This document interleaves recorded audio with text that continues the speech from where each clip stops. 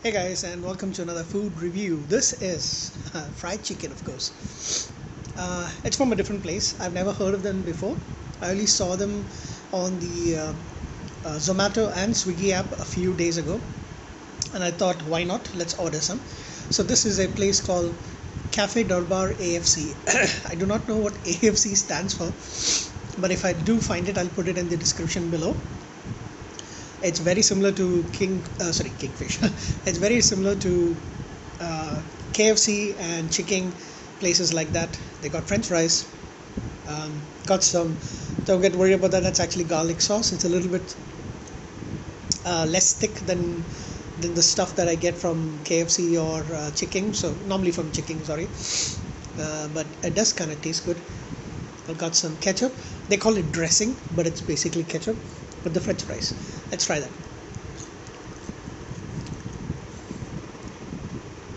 french fries are not bad. It has only been about 15 minutes or so since the uh, and the french fries are slightly coated with some flavor herbs or something like that. It's little slightly spicy. Salt maybe a little pepper.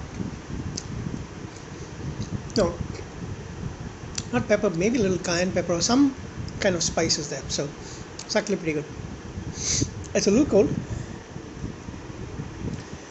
And uh, the french fries with the garlic sauce is pretty good. We got some coleslaw, a bun, two pieces of chicken.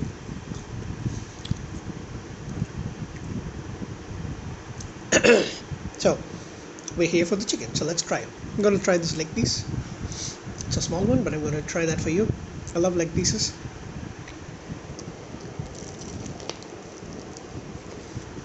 Mm.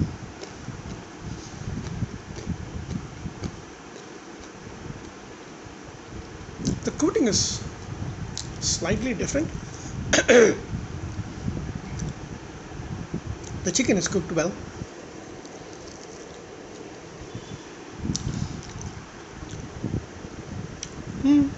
I'm enjoying that.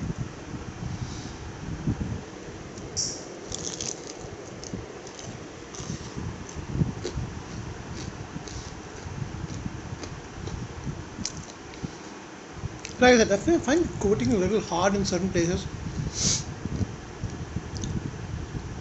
It's not as not as crispy. It's kind of thick, but overall, I'm going to give this. Um, I'm going to give French fries and the chicken an 8 out of 10. Not bad. Thank you. Bye.